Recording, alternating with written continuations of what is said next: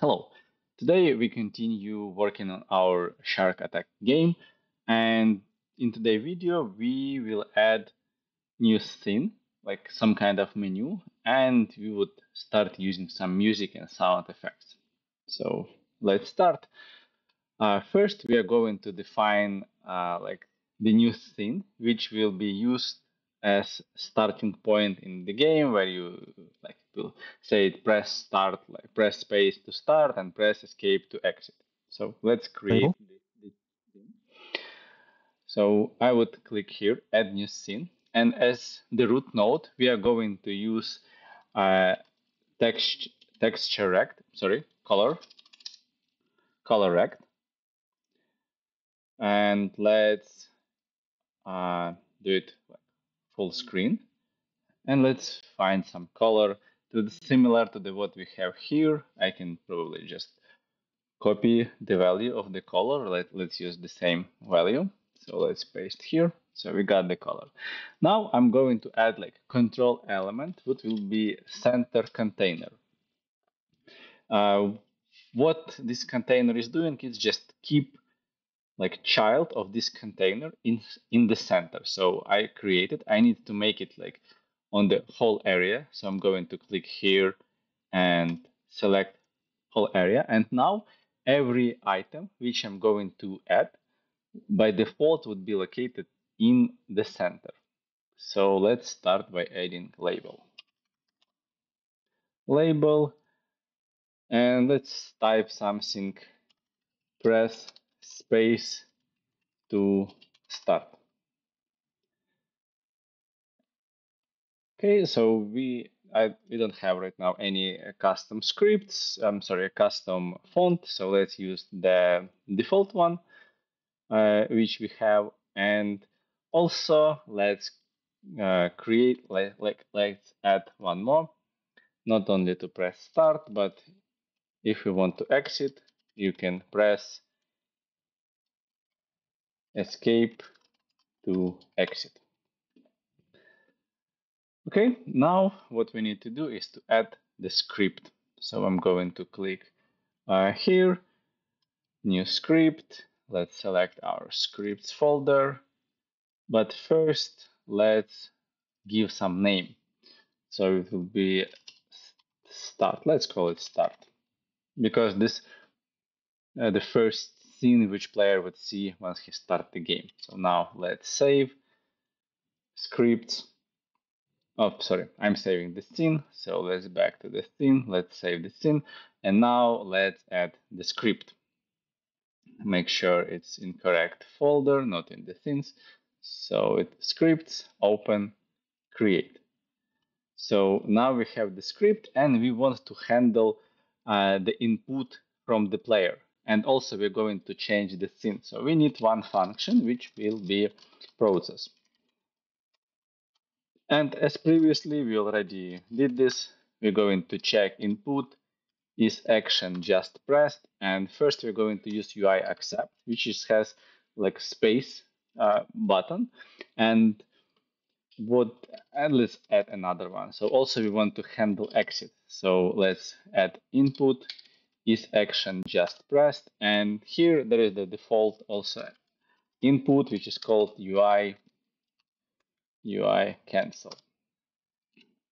Okay, and now we want to, uh, let's start by this one. So we want to exit from the game. So I can do get tree, get tree, and here I can call quit. Uh, so when I press escape, I will like exit from the game. Uh, but when I press this space bar, I want to load the game. So I need to change the scene. So how can I do it? I can do again get tree. And here I can do change scene to the file. And I can specify which scene do I want to open. And in our case, this is the world. Uh, but when I start the game right now, it started the game without the menu because uh, our scene right now is not uh, like default one. So as you remember at the beginning, when we first launched it, it asked what scene do you want to do as the default one. So we need to change that. So to change this, I'm going to open project settings. Then I need to go here, run, and there is the main scene. Right now, this is world, and I want to change this to the start. Let's click open, let's click close.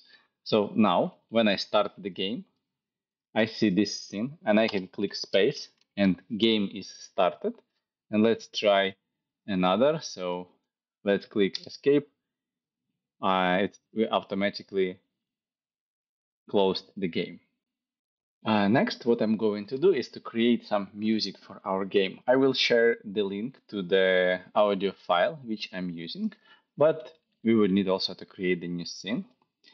And there is the audio stream player. So for now, we're going to use just this without using like specific because with this audio listener 2D and player 2D and 3D, we can create like sound from different places.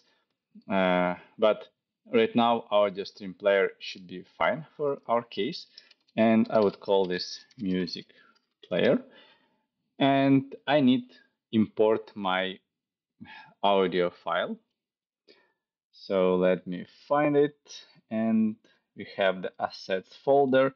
Let's create here new folder like let, let's call it audio and let me drag my sound effect. Okay, it's here.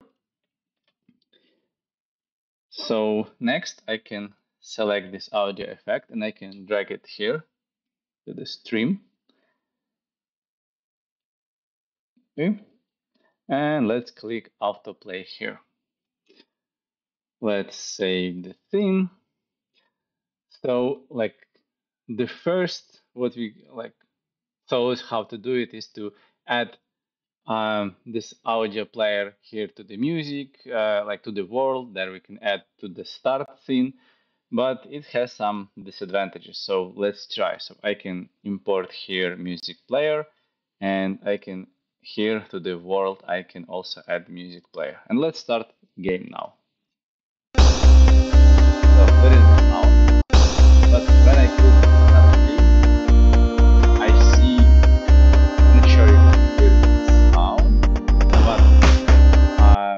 when I click start, track is playing from the beginning. So let me delete those nodes from um, world. So I did it from the world and let's do the same from the start. So where is our start scene? So yeah, let's delete it from here. So for music to continue playing, we going to use uh, auto load in Godot. So I can click here, project setting, and here is the auto load.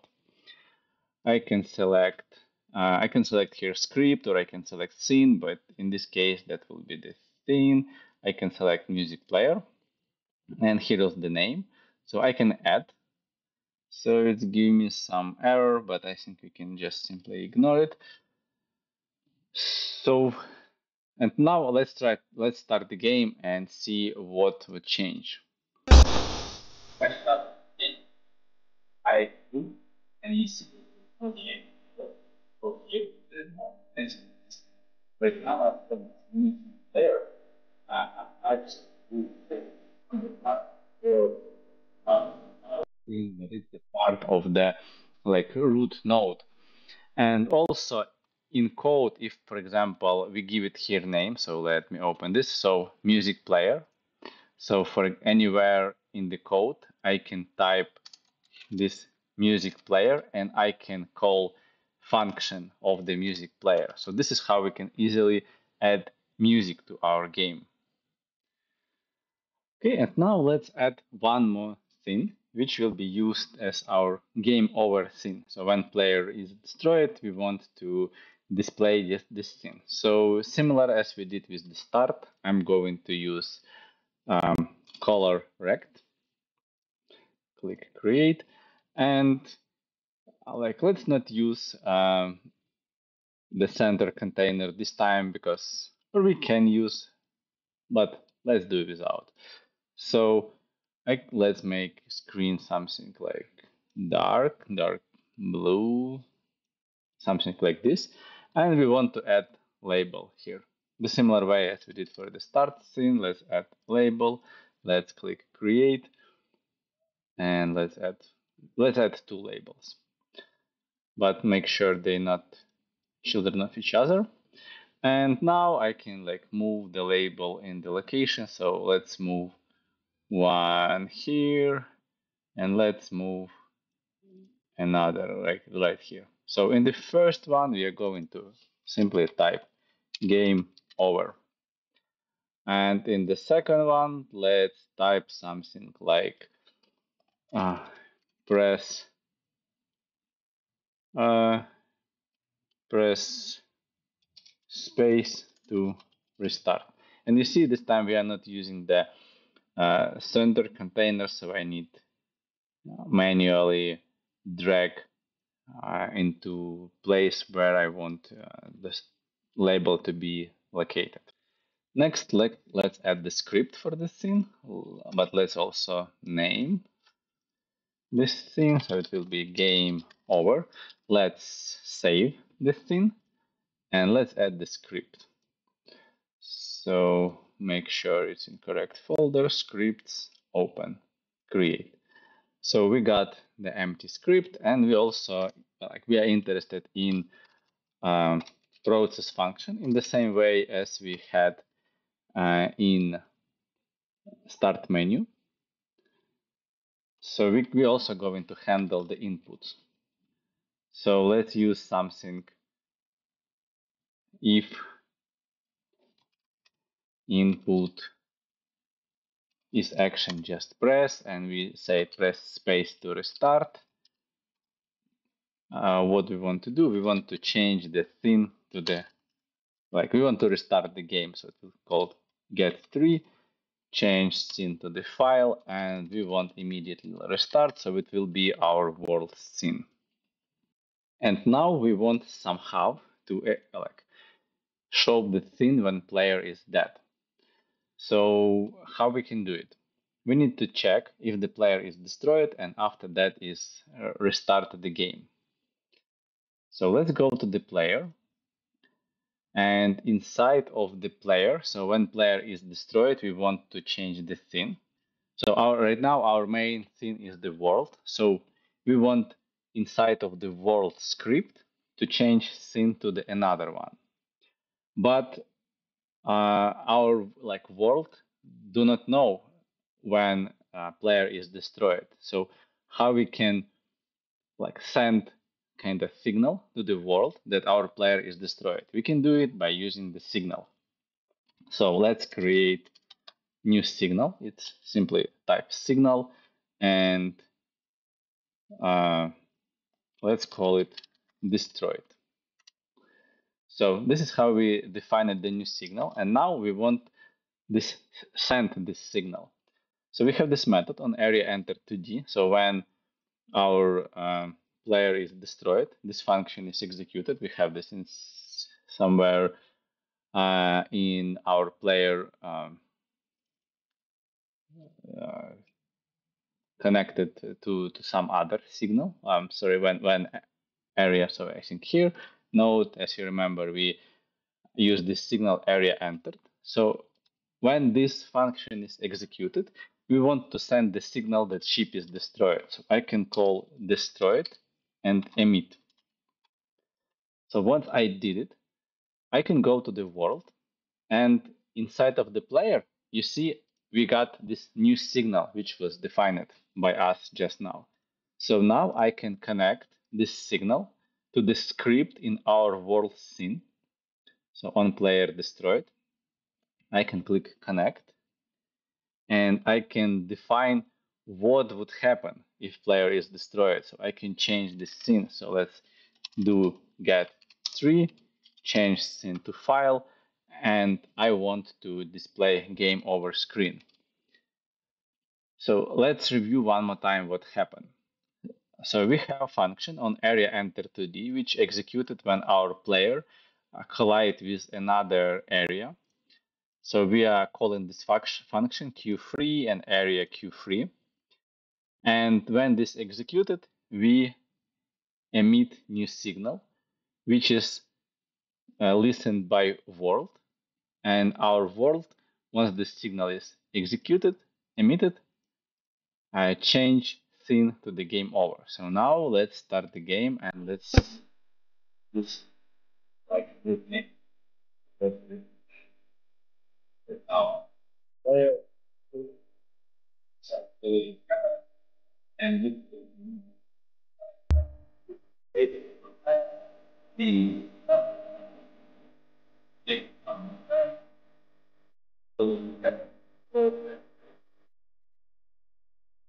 um, that's all for today's video. Thank you for watching. Have a nice day.